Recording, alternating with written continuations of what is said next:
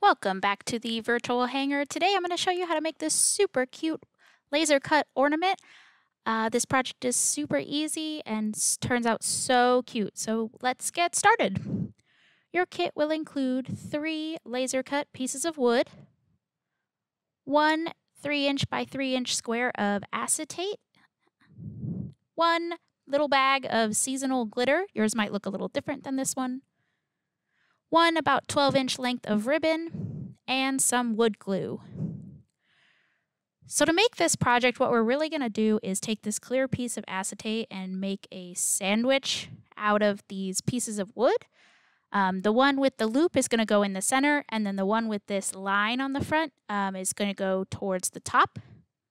So we are going to start by um, taking the top piece with the line on it and measuring kind of just approximating uh, on a picture. You could do a drawing, you could do some art. Doesn't matter. Um, I just kind of want to get, you know, the good parts of this picture of my sons here.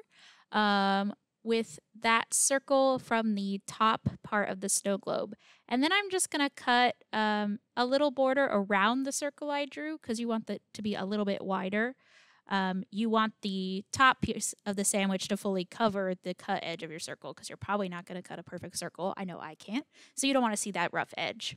Uh, so once you've got your picture cut out, we're just going to take a little wood glue and smear it on all over the back of the uh, big piece of wood there. And then center our picture just dead center. You can eyeball it, it's not that deep. And just uh, get that nice and flat on the wood glue overnight. Um, take a paper towel and wipe off the excess. It's going to be a lot easier to clean when it's wet. And just put a book on top of that uh, overnight. You can see here it covers up the whole, uh, all the edges. Just put a book on it, let it dry overnight. While that piece is drying, we're going to take our acetate and cut it down to size.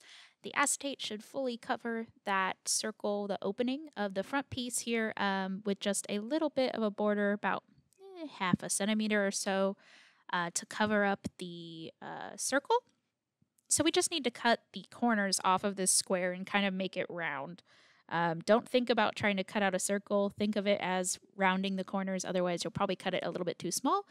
Uh, the wood glue is going to need something to grip onto, so you just don't want to cut away too much, only the extra. So see, that covers up the circle pretty well there. Just clear away some of the trash. Uh, and then we are going to take our wood glue again. Um, this time, I think I will use a popsicle stick to kind of frost this instead of using my finger.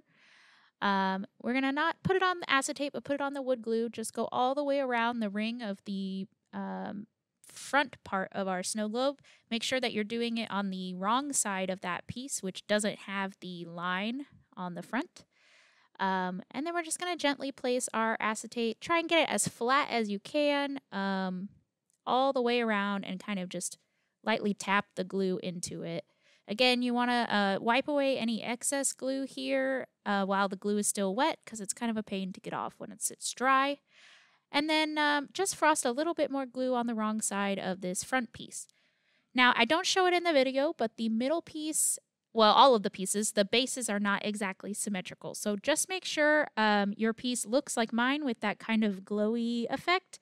That's the front side of the middle piece. The back side should be a little cleaner um, in terms of char. And then if you do that, that will make sure that your center bases there are lining up. And then we will just take a couple of clothespins and secure it all the way around.